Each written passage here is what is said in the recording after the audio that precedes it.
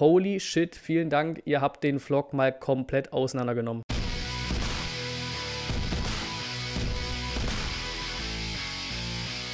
Und ein Moinsen zum Video vorm Auswärtsspiel bei Union Berlin morgen Mittag. Nummer 1. Scheiße war das geil. Ja, ich glaube, wir sind uns da alle einig, das 3 gegen Gladbach war einfach geil. Ganz simpel und hier auch einfach ganz einfach zum Start ins Video. Hier einmal mal kurz die ausrastende Kurve zum Genießen.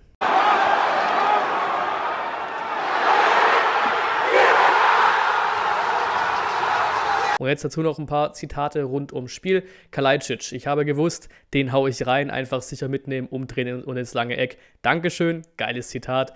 Der Trainer ist der Schlüssel, er macht das exzellent, hat Hitzelsberger gesagt. Und Florian Müller, riesen Mentalitätsleistung, da spricht er das Team und auch uns Fans an.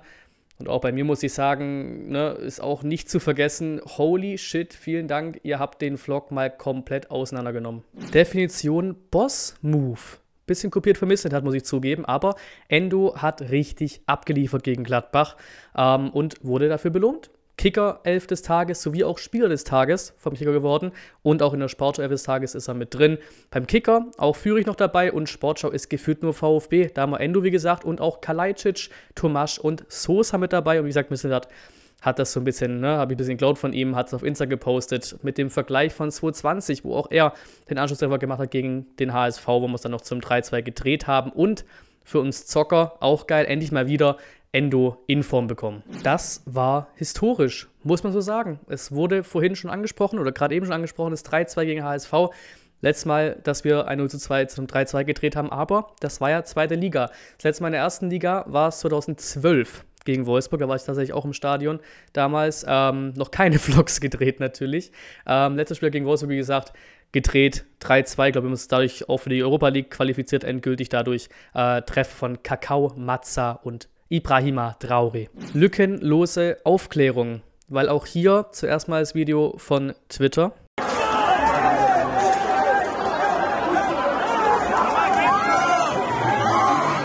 Das sind unfassbare Szenen von Security Personal von Ordnern von uns. Ähm, und ne, wie das Video zeigt, es wurde auf Gladbacher eingeprügelt. Wir kennen die ganze Geschichte nicht, ne? aber selbst wenn es Provokationen gab, ist das nicht gerechtfertigt. Nicht in keiner Welt jemals. Ähm, gibt schon Statements und so weiter und so fort. Hier ist, wie gesagt, lückenlose Aufklärung vonnöten und da muss mal der Ordnungsdienst, wie noch immer wieder immer als Ordnungsdienst dann haben und so weiter, muss mal hinterfragt werden oder wer dann angestellt wird von denen. Wir hatten auch Probleme und klar ist jetzt die Stadionsicht, die ich hatte, aber mir ist so ein Problemfeld aufgefallen, das einfach der Mangala reingerissen hat durch seine Verletzung, ähm, dass wir, wie gesagt, wir hatten Endo und Karaso zusammen. Das war alles top, kein Thema, aber halt nur Endo Karaso. Normalerweise ist ja die Option, Endo Mangala und dahinter deckt Karaso ab und unterstützt von hinten quasi und ist da einfach ein unfass ja, nimmt da eine unfassbar wichtige Position ein. So, die war nicht da und ich fand dann schon durchaus, dass wir da auch einige Lücken hatten äh, gegen Gladbach. Ne, haben auch zwei Kütten äh, kassiert, die auch alle nicht schön verteidigt waren. So. Äh, gegen Gladbach hat es noch gereicht, die sind gerade wirklich nicht gut drauf. Ist halt die Frage, ob äh, das auch gegen Union so reicht. Mangala könnte zurückkehren, aber mal gucken, was er aufstellt. Corona an der alten Försterei. Ja, Klingt fast dumm, äh, ist auch irgendwie ein dummer Punkt, aber es ist fast untypisch, dass ein Gegner von uns mal mehr Corona-Fälle hat, quasi vor dem Spieltag als wir selber so.